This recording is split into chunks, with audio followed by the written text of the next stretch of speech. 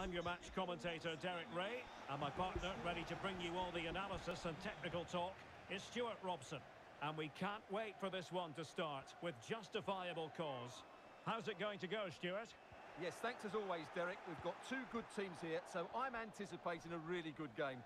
The atmosphere is electric inside the stadium before... And he might be through here. Golazo! Oh my god, that was